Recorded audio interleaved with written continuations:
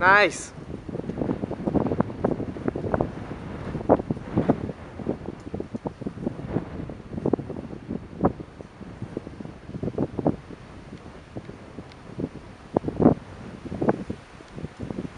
Sur la corde. Ouais. C'est bon, tu peux lâcher, t'auras un petit ballon.